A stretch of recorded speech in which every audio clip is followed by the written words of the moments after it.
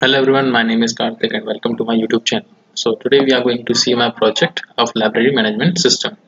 Let's start and go through the project. First I will enter the student um, and password 23 So here's the library management system and we can see the students uh, add a book, issue book, all books, new student and logout options.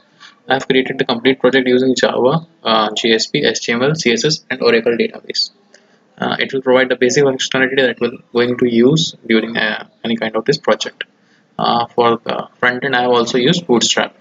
There is a footer that is created by me my contact number and email. If if in a case if you want to contact me uh, as for the student here we can see all the students that are being inserted in the database. We have student table and we are able to see all the students. Now we have add book.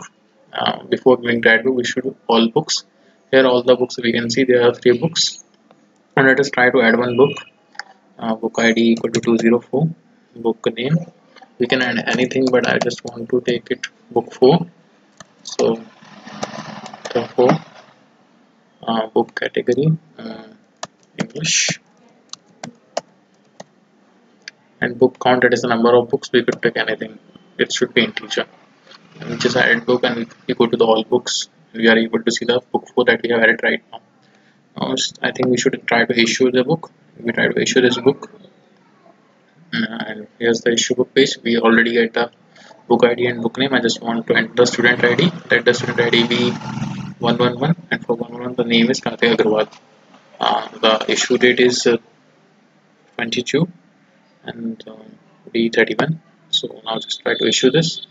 And as we can see the book has been issued let's go to the issued books and you can see the entry to the book to issue and issue dates. Similarly we can add a new student. For example we try to add a student. Let it be 114 uh, student name here uh, Kritakya Yadav and email be kyadav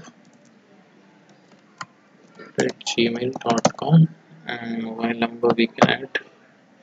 I will add my mobile number because we are in a little hurry. And add the student. As we can see we can add, add a student. We can have so this is the entire project. I hope you liked it if you want to learn the project please comment below. I will teach you step by step. Thank you. And there's a logout page. We can come back to the login page. Thank you. I hope you liked the video. Please rate comment and subscribe. Thank you